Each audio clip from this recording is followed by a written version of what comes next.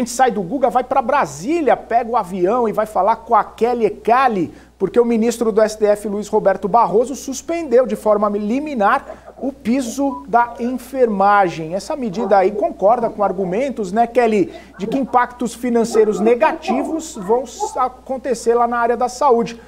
No Congresso, Arthur Lira critica, Rodrigo Pacheco diz que vai buscar soluções. E aí, Kelly, conta pra gente essa informação, conta pra gente o que, que, vai acontecer, quais as cenas dos próximos capítulos nessa questão do piso da enfermagem. Muito bom dia, bem-vinda aqui ao Morning News. Oi, Fê, bom dia. Bom dia a todo mundo que está acompanhando a gente aqui no Morning. Eu devo dizer, pegou todo mundo de surpresa, viu, essa decisão liminar diante de uma ação que chegou ao STF, né, argumentando preocupação com o setor, sobretudo privado, né, da área da enfermagem. Essa questão é, é, já era uma delicadeza desde o tempo em que o Congresso que estava discutindo essa, esse, esses no, novos pisos de categorias, porque lembrando, não foi só da enfermagem, tá? Tem um deputado aqui que inclusive é líder da bancada dos deputados do, no, do PSD, tá?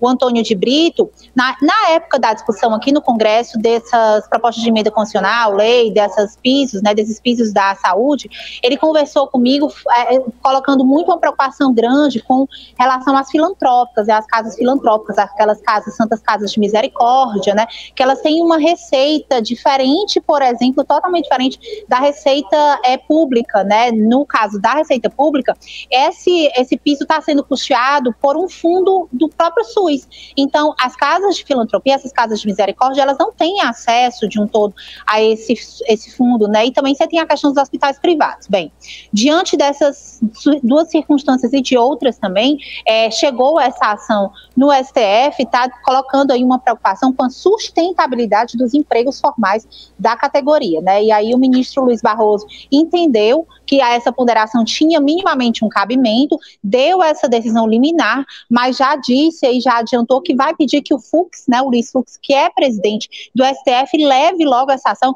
nos próximos dias para o plenário, porque, claro, uma decisão extremamente polêmica foi e ele não quer ficar com esse peso nas costas, muito embora tenha entendido aí que havia, de fato, uma sinalização de mérito para preocupação realmente com a continuidade dos empregos na área da saúde, tá? Então, não tem ainda uma data para que ocorra essa sessão, essa sessão plenária, que provavelmente vai ser uma sessão física, mas está posta aí a discussão para ser levada a plenário, isso porque, como a gente já conversou outras vezes, Fê, não se pode também ficar com a decisão cautelar, liminar, digamos assim, voando, pairando, né? Ela tem que ser ao máximo de tempo possível, ou melhor, ao mínimo de tempo possível, levada para ser discutida em plenário, para que não fique aí sozinha valendo, tá? Por outro lado, aqui no Congresso Nacional houve duas manifestações de teores diferentes. Né? O Arthur Lira disse que decisões é, liminares, decisões judiciais existem para serem cumpridas, mas que ele não concorda de forma alguma com o mérito da decisão do Barroso, tá?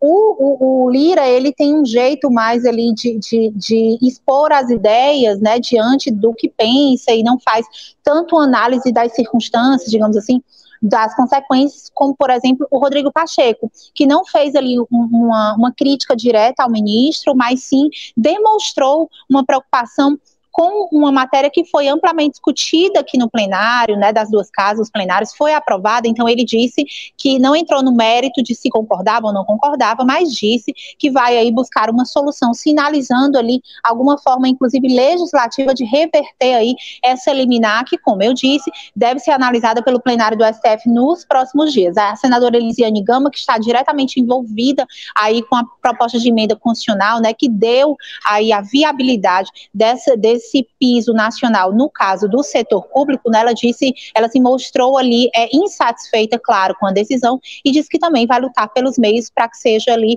revogada, né? Lembrando que agora não depende mais especificamente nessa circunstância da lei, da legislação que está aprovada, né? Não depende mais é de o Congresso diretamente fazer alguma coisa para reverter essa decisão.